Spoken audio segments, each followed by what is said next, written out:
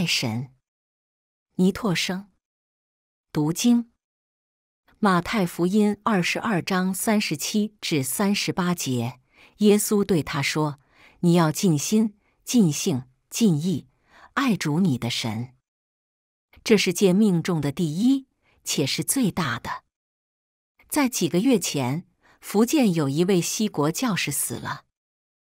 我曾说，在我所认识的人中间，他是在主里一个顶身的人。我因知道他的事情比较多一点，就想替他写一本行传，因此征集他平日的讲章、零篇、断稿等，以便编辑。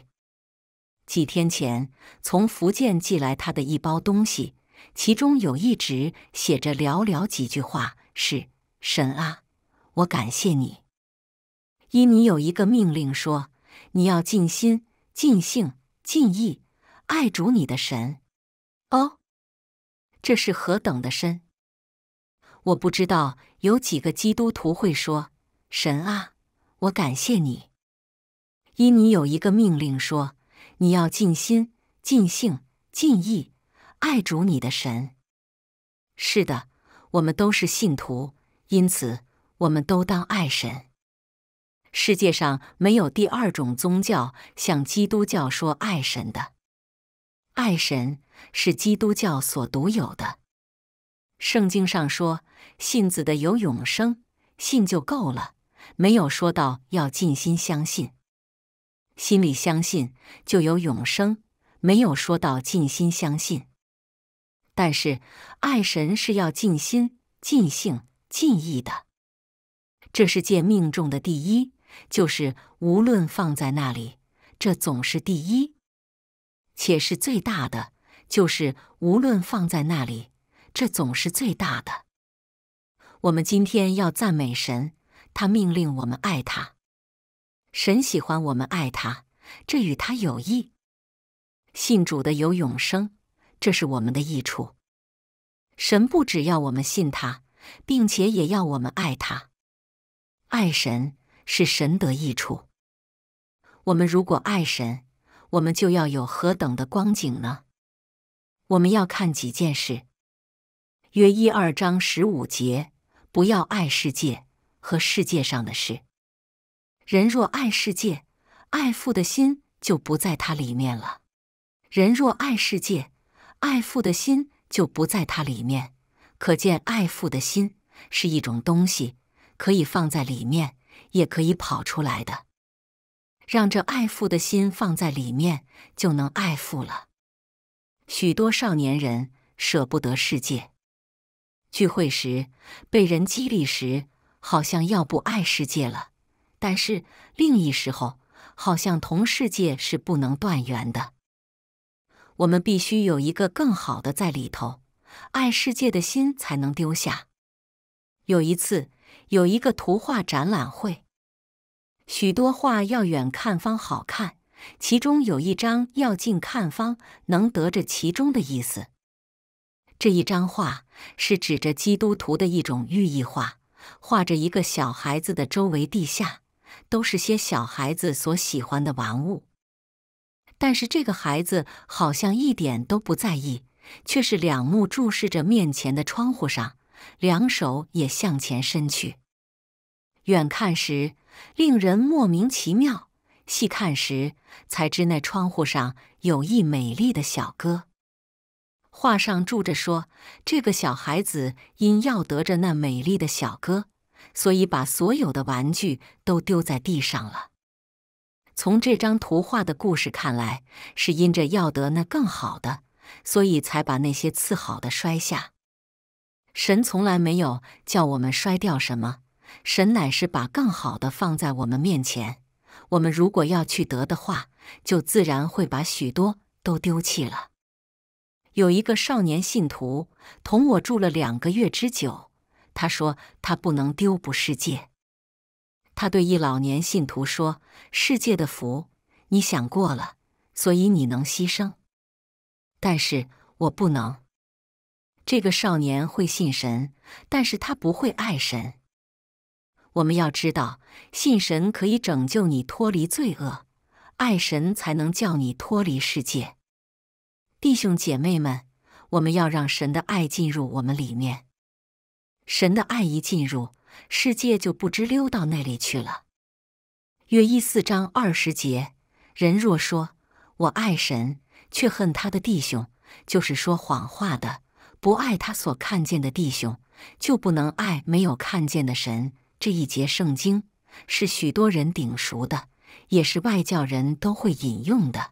但这一节圣经不是说爱你家里的弟兄，乃是爱你在基督里的弟兄。许多人的态度、行为叫你不能爱他，但是神的爱如果进到你里面，你就能爱他了。不是爱你们所爱的弟兄，乃是爱弟兄；不是爱那些可爱的弟兄，乃是爱弟兄。如果你不会爱弟兄，你里面就还没有爱父的心。如果你有了神的爱，你就不能不爱弟兄了。有某人，他的父亲被人杀了，他定义要报这杀父的仇。但是他是一个真基督徒。有一天聚会地方有薄饼聚会时，聚会的人围着一大圆桌坐着，正好杀他父亲的那个仇人就坐在他旁边，他就离席到外边去，他里面起了交战，是杀他呢？是进去与他一同薄饼呢？就是在这个时候，神给他看见基督的爱。他看见自己原是神的仇敌，基督还救了他。他被神的爱融化了，就把眼泪擦干了进去，与他的仇敌一同薄饼。当那人出去的时候，他不看他是仇人，乃是他在主里的一位弟兄。所以，我们如果真有神的爱，就能爱一个不可爱的弟兄。约一五章二至三节，我们若爱神，又遵守他的诫命，从此就知道我们爱神的儿女。我们遵守神的诫命，这就是爱他了，并且他的诫命不是难守的。为什么爱神就能遵守他的诫命呢？我们可以看约翰十四章二十一至二十三节，有了我的命令又遵守的，这人就是爱我的。这告诉我们，我们如果爱主，我们必定遵守他的诫命。弟兄姐妹们，今天我们谁能说，我所知道神对我个人的命令，我都遵守了呢？不知道的不必说，已经知道的都遵守了吗？有了神的命令。意思是把这些命令去找出来。多少信徒怕神对他有命令，他好像要塞住耳朵不听。我们应当知道，不止神命令我们时，我们应当遵守，并且我们还要去找神的命令。既找出了，就要遵守。找神的命令就是体贴神，这样就是爱神的。爱我的必蒙我父爱他，我也要爱他，并且要向他显现。这是说我们爱神所得的好处。我看见神许多出名的儿女，但是我没有看见几个是认识神的。许多人会读经，却不认识神；虽明白圣经，却不晓得神的大能。有的人虽然讲道，自己还不懂所讲的是什么。这是什么缘故呢？是因主没有向他显现，就是主在他面前，若没有主自己的启示，他仍不能认识主。但是许多人没有主向他显现，就是因他不爱主，不遵守主的命令。世上只有一种人是爱主的，就是忠心的人。你若要找顶认识主的人。并非在顶大顶有名的地方去找，往往在一僻处，或者在一间房子里，有人在那里服侍神。当你见他的时候，你要看见神在他那里。有人使我一见就佩服。有的人有热心，有的人有才干，有的人为人顶好，真是谦卑温柔，但是不一定从他身上看得见神。有人问到我，某教士有什么长处？我说，每一次见他，都引起我觉得神。这是神的启示。你们记得那个书念的大户妇人对她丈夫说：“我看出那常从我们这里经过的是圣洁的神人以丽莎，有什么给这妇人看见呢？他没有行神迹，每一次他来，不过给他觉得神。弟兄姐妹们，我们爱神的显现吗？如果爱，我们就当用各种方法去找神的命令。”并且遵守神的命令。人若爱我，就必遵守我的道。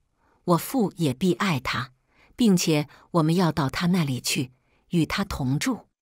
神和基督是与信他的人同在，但是神和基督是与爱他的人同住。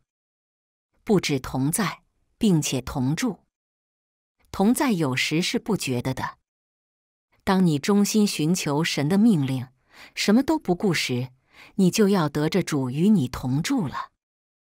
约翰十五章九至十节：你们要常在我的爱里。你们若遵守我的命令，就常在我的爱里，正如我遵守了我父的命令，常在他的爱里。什么叫常在主的爱里呢？当我们初得救时，我们真觉得主是何等爱我。但是到今天，不觉得什么了，虽然仍然会说主的爱何等深，但是不觉得什么了。如果常在主的爱里，就要常觉得主的爱。常在主的爱里，就是给主机会爱。换言之，就是在主爱的周围里。当人反对你、厌弃你时，你就真知道主是如何爱你了。我们常找出神的命令，常遵守神的命令，就常在主的爱里了。主有一刻不觉得父的爱吗？他时刻都在父的爱里。这是因他遵守了神的命令。要常在主的爱里，就得常遵守主的命令。神的爱如果在我们里头，就顶难顶难的命令，我们都能遵守。有人因爱神的缘故撇下了父母，有的人撇下了妻子，有的人撇下了地位，有的人撇下了名声。是因有神的爱，所以他才能。罗马八章二十八节，万事都互相效力，叫爱神的人得益处。这一节许多人都晓得，唯独有一种人能得着益处，就是爱神的人。如果你不爱神，就恐怕没有一件事给你效力。神没有改变万事，神乃是改变你的心。如果你爱神，就虽然万事仍是那样，却与你有益处。有时我们一碰见什么，就觉得可怪，东也怪，西也怪。如果有了爱，就都算不得什么了。即使环境叫你不满意。如果你爱神，就都有益处。林前二章九至十节，神为爱他的人所预备的，是眼睛未曾看见，耳朵未曾听见，人心也未曾想到的。只有神借着圣灵向我们显明了。在这两节里，我们看见什么？神为信他的人所预备的是永生，神为爱他的人所预备的。是将来的，这将来的福，唯独爱神的人能知道。如果有人说他看见了怎样怎样好的东西，但是那东西还不及这个，因这是人眼睛所未曾看见的；如果有人说他听见了怎样怎样好的东西，但是那东西也不及这个，因这是人耳朵所未曾听见的。如果有人想到极顶好的，想到再没有比他好的，仍不及这个，因这是人心所未曾想到的。但是这样一种人，眼睛未曾看见，耳朵未曾听见，心也未曾想到的好，唯有神的灵向我们显明了。换一句话说，一个爱主的人，能在今生就享受人所未曾看见、未曾听见、未曾想到的好处。神把他的荣耀向你显明时，你要说：“哦，这是何等的快乐！天上的荣耀太多了，你好像受都受不住了。”弟兄姐妹们，我们要真为主吃苦，真肯出代价走这条道路。我们要爱主，好让主的荣耀向我们显现。雅各书一章十二节：忍受试探的人是有福的。因为他经过试验以后，必得生命的冠冕，这是主应许给那些爱他之人的。许多时候，我们想要得一生命的冠冕，不知要做多少的功。但是在这里，要得生命冠冕的有一条件，就是爱主。弟兄姐妹们，我们对神太缺乏爱心了，好像我们已失去当初的爱心。这是顶可惜的。约翰二十一章，主对彼得说：“你爱我吗？你要喂养我的小羊。如果有人真爱主，他就必顾念到人的灵魂，绝不会爱主而漠不关心人的灵魂。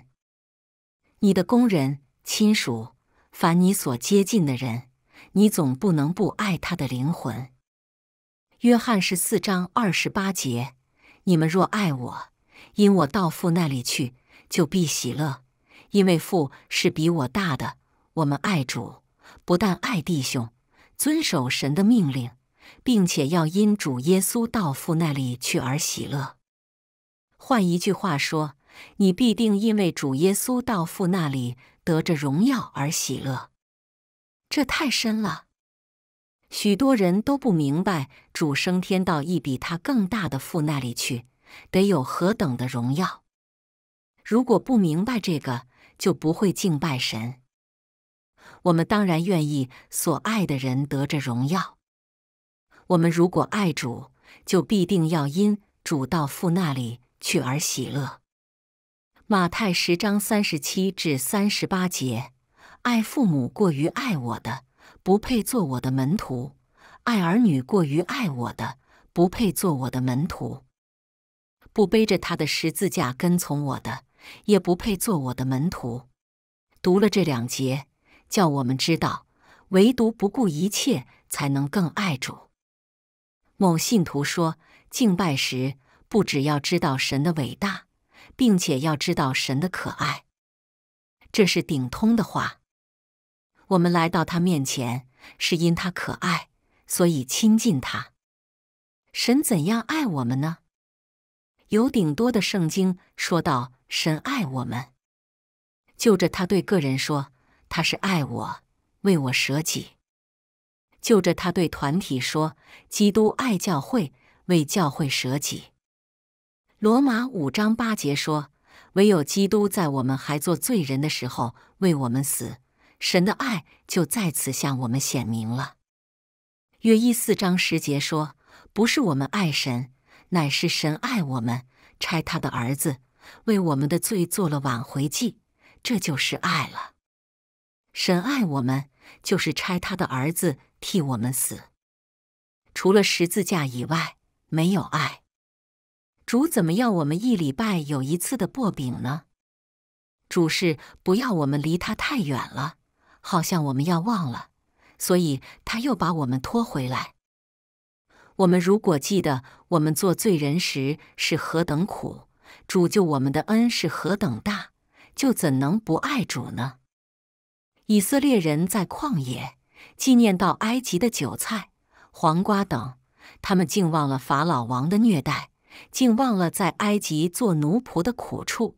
竟忘了神将他们从那样的苦难中救赎出来，因此他们的心好像舍不得埃及。我们如果忘了十字架，也就要忘了神的爱；忘了神的爱，也就不免想到世界了。我们怎能爱主呢？我们读路加七章四十七节，所以我告诉你，他许多的罪都赦免了，因为他的爱多。但那赦免少的，他的爱就少。我们如果记得我们的罪是怎样得了赦免，我们就不能不爱主了。如果十字架有一天不会感动你了，那一天你就已经堕落了。罗伯斯先生因他不能接受十字架的感动而哭了几个月，直到神感动了他。因此，威尔斯就有了大复兴。到今天还没有比那一次的复兴还大的。那个女人怎肯用泪洗主的脚，用头发擦主的脚，用口亲主的脚呢？因她记得她的罪已经得了赦免，所以才能这样。弟兄姐妹们，我们要站住在十字架下，就是你以后的灵性比今天再强一百倍。也请你记得你的罪恶是如何得了赦免。临前十六章二十二节：若有人不爱主，这人可诅可咒，主必要来。这是顶严重的话。如果有人不爱主，这人是可诅可咒的。